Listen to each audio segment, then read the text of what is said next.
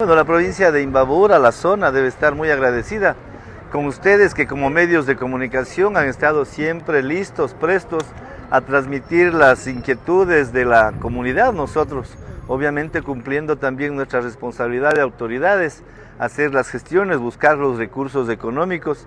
Este es uno de los cuatro proyectos que se incluyeron dentro de una línea de crédito de 9 millones 200 mil dólares ante el Banco de Desarrollo. Este es un proyecto que tiene una longitud de 13.8 kilómetros y que une desde Peguche hasta la estación del ferrocarril de San Antonio de Ibarra. Es una vía que tiene mucho contenido histórico. Eh, las nuevas generaciones obviamente no recordarán. Esta era la vía por donde se eh, circulaban los vehículos desde Ibarra a la ciudad de Quito.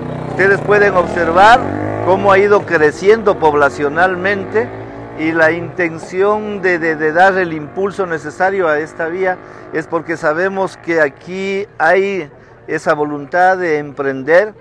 Hay turistas que no quieren ir por la vía principal, sino vienen, quieren venir compartiendo la cultura, nuestras costumbres, nuestras tradiciones, porque no nos, ubiquemos que a lo, no nos olvidemos que a lo largo de la vía están ubicados nuestros pueblos con sabidurías ancestrales. Hay un pueblo Otavalo que se beneficia, hay un pueblo Natabuela que se beneficia, hay una capital provincial, hay una capital del Geoparque Mundial que se beneficia, hay una parroquia San Antonio que es muy rica en temas de, de, escultura, de pintura, detallados. Es decir, todos se van a anclar en esta vía que eh, no ha sido fácil, eh, la tramitología no es muy fácil.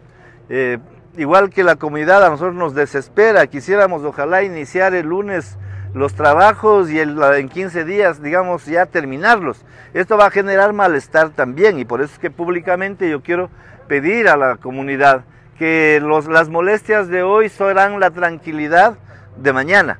No es una obra que va a demandar de, de poco tiempo, va, es una obra que va a demandar de meses, si ha habido una articulación con la empresa contratista, igualmente ha habido reuniones con los usuarios de las juntas de agua, con los del transporte.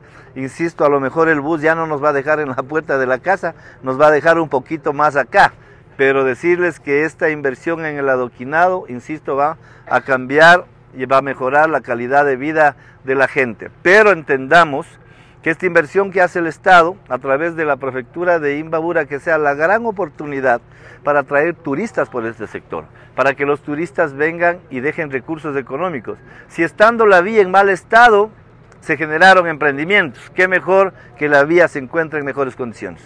¿A cuántas familias beneficia? Familias directas, todos los que viven desde San Antonio hasta Peguche no sé exactamente cuántas son las directas, pero las indirectas son todas las que estamos de aquí a la izquierda, todas las que están de aquí a la derecha y obviamente la gente de Ibarra, no nos olvidemos que esta es una ruta también para ciclistas, es una ruta para excursiones, es decir, hay una serie de bondades que tiene esta vía, los transportistas gastarán menos también en eh, los neumáticos, se demorarán menos.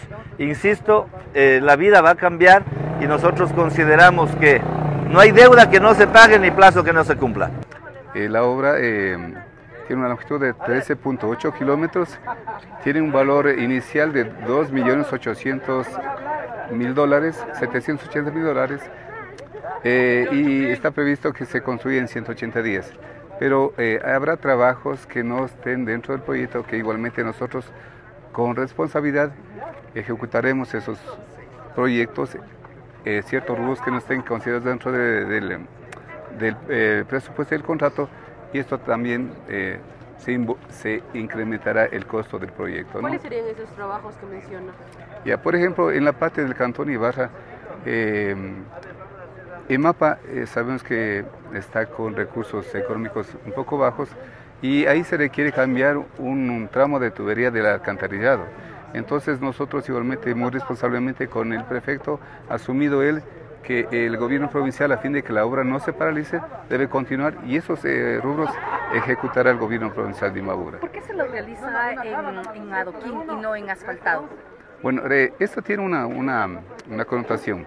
Sabemos que la vía eh, Aquí, como estamos en una zona rural, siempre eh, construyen nuevas casas, entonces igualmente necesitan las acometidas de agua potable y alcantarillado. Entonces, en el momento que nosotros destruimos el asfalto, es muy difícil repararlo. Más bien vamos a tener eh, parches en todo lado.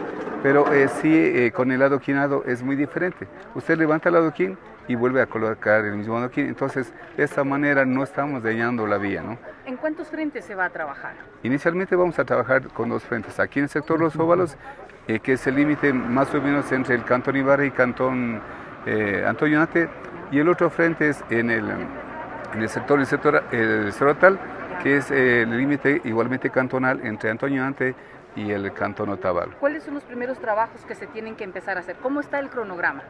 A ver, el cronograma está, son 180 días, Ya. que igualmente todo dependiendo de las condiciones en que, en que nos encontremos, podremos cumplir. De pronto se, se prorrogará un poco más ese, ese plazo, pero inicialmente vamos a iniciar eh, con excavación. Igualmente si encontramos eh, tuberías de agua potable que hay que profundizar, eso igualmente responsablemente vamos a ejecutar esos trabajos. Entonces, por eso que el, el valor eh, inicialmente, si son 2 millones, 2 mil- 2 millones 800 mil, se incrementará, porque son rubros que no, mm, el estudio no contempló, porque se supone que cada empresa de cada cantón nos, nos certificó de que no había problemas en que podamos continuar con los trabajos. Entonces, primero viene el corte, luego colocaremos la subbase, la base y